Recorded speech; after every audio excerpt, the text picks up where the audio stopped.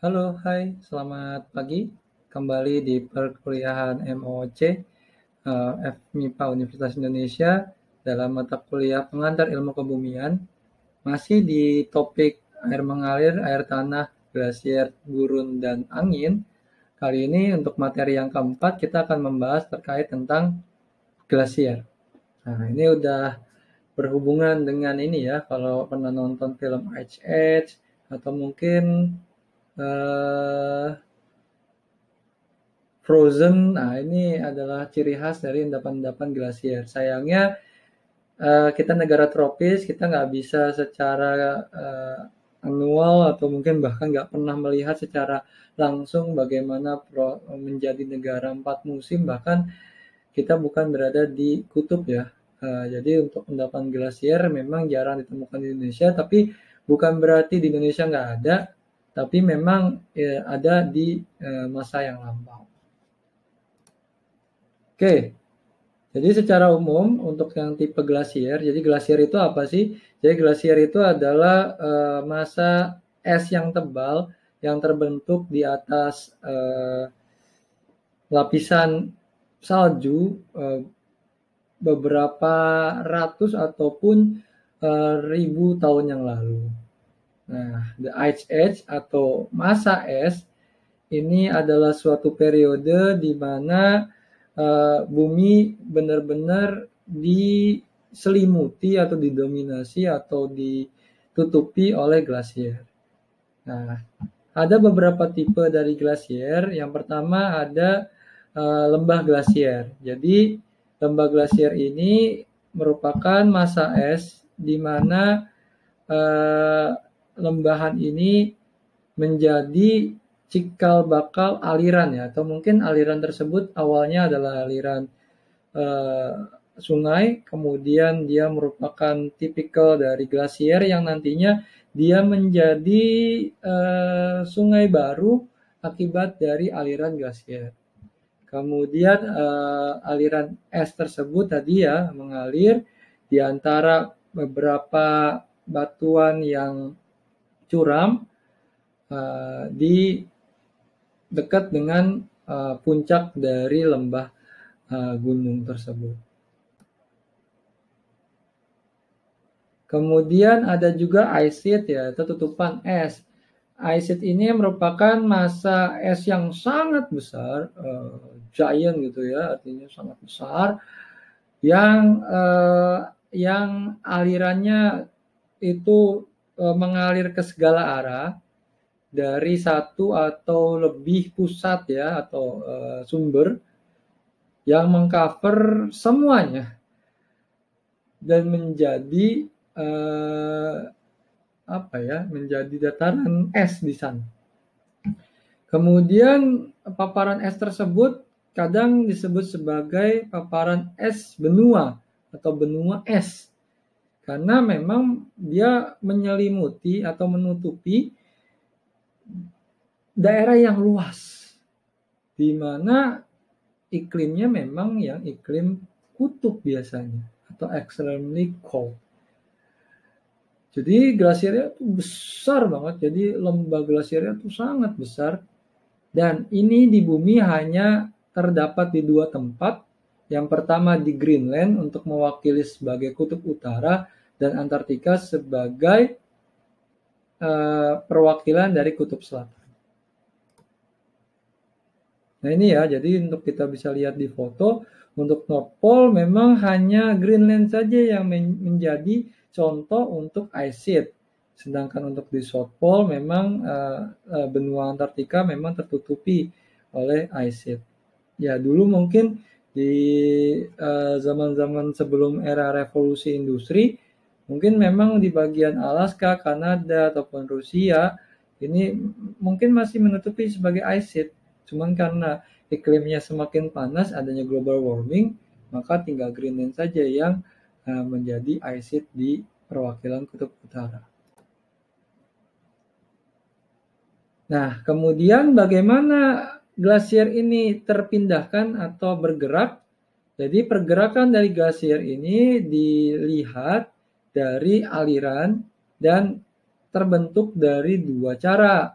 Yang pertama aliran plastik atau plastic flow ini meliputi dari pergerakan dengan adanya es, jadi kayak gerak plastik aja gitu ditarik.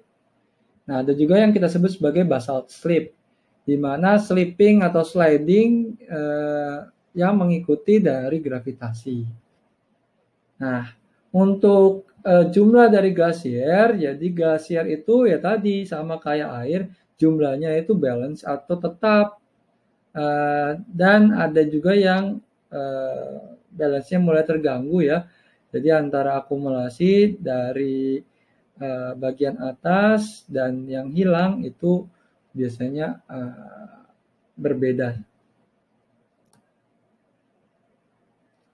Nah ini contoh bagaimana glacier move. Ini adalah zona akumulasi ya di bagian atas.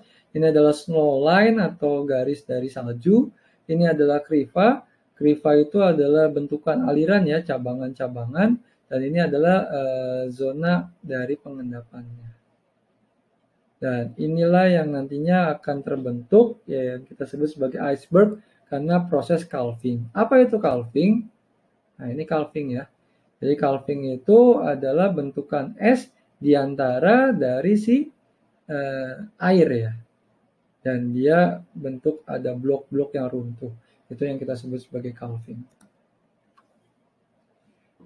Nah, yang berikutnya adalah proses erosi dari glasial. Jadi ada beberapa bentukan alam yang terbentuk uh, karena adanya ini ya uh, perluasan dari glasier di era uh, es.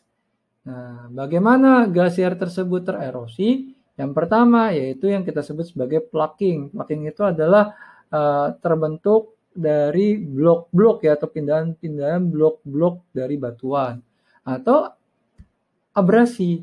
Nah, abrasi ini ada dua, yaitu rock floor, yaitu pulverized rock, ataupun striation atau groove in the bedrock. Nah,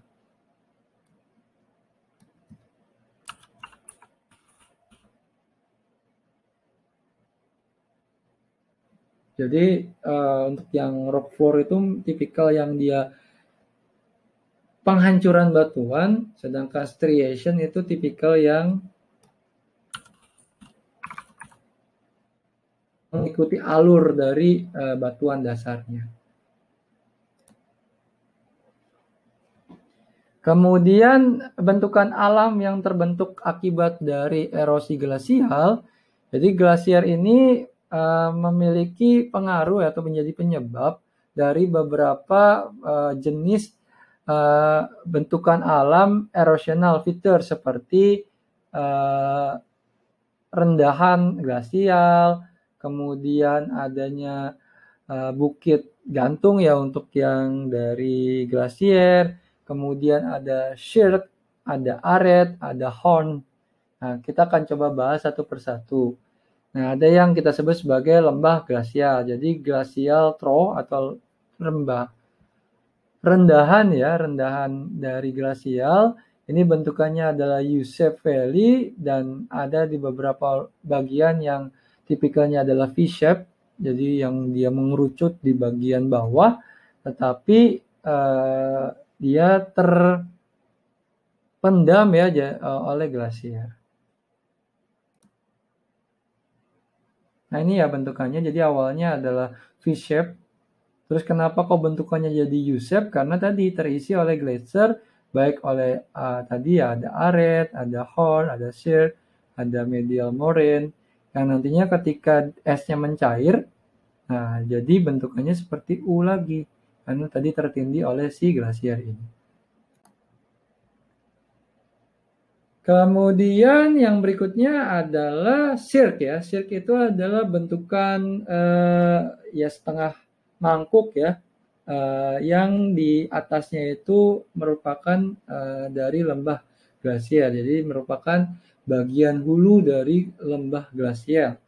Kemudian ada juga aret dan horn.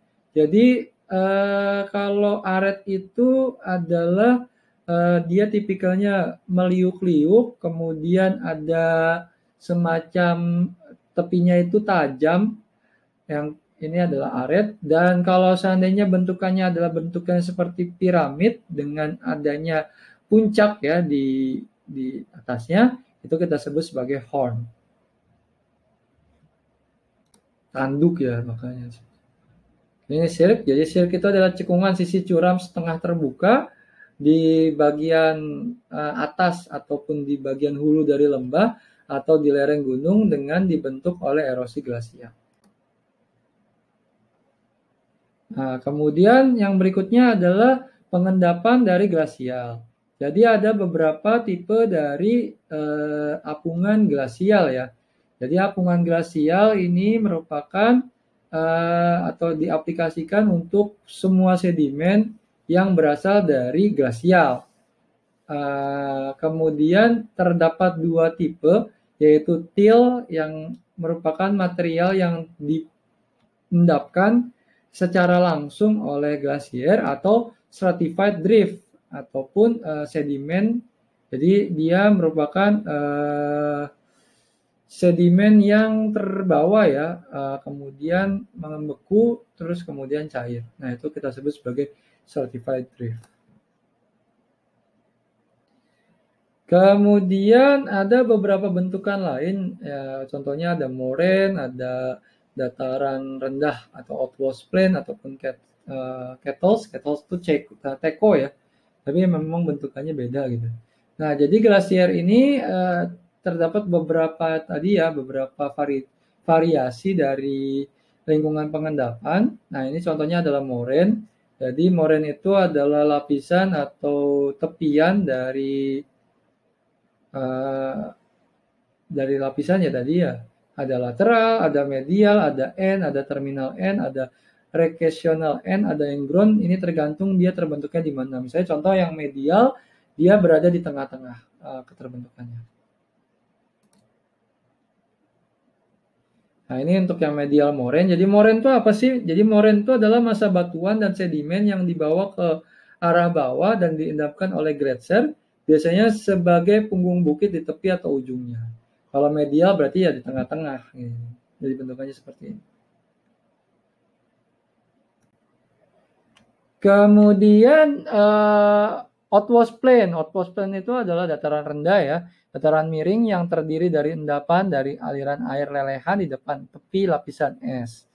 Nah, yang berikutnya ada kettles, teko ya, tapi bukan teko, tapi sebenarnya ini kettles saja. Jadi kettles itu adalah depresi yang dibuat ketika balok es tersangkut di endapan glasial dan kemudian mencair. Ini contohnya untuk kettles.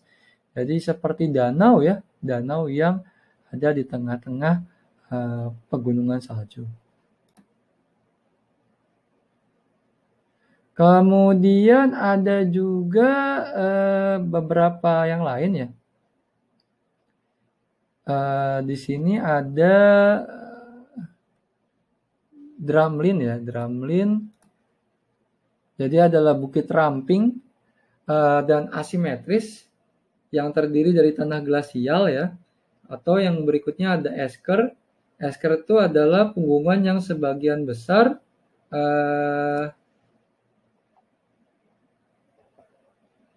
terdiri dari pasir dan kerikil yang diendapkan oleh aliran sungai yang mengalir di bawah gletser di dekat ujungnya. Nah, kemudian kita akan berbicara tentang HH ya. Jadi ini kurang lebih terjadi 2 sampai 3 juta tahun yang lalu merupakan bagian dari waktu geologi yang kita sebut sebagai epoch Pleistocene. Nah, jadi nanti kita akan belajar nanti mungkin di materi yang ke-11 terkait tentang waktu geologi dan salah satu epochnya itu adalah di uh, Pleistocene. Jadi kurang lebih es itu mengcover kurang lebih 30% dari uh, dataran atau daratan.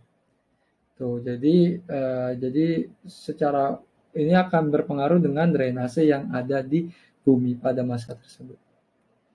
Nah ini jadi ya beberapa kutub tuh jadi lebih meluas ya dibandingkan uh, yang sekarang uh, posisinya. Oke, uh, mungkin untuk materi yang keempat dicukupkan. Uh, kalau misalnya ada pertanyaan, silakan dituliskan di kolom komentar dari channel ini. uh, nanti jangan lupa untuk kuis untuk mengetahui seberapa paham Anda dalam memahami materi ini baik di emas ataupun di uh, idols. Sekian dari saya, kurang lebihnya mohon maaf. Walau mufiq Assalamualaikum warahmatullahi wabarakatuh. Selamat pagi, sampai ketemu di materi selanjutnya. Terima kasih.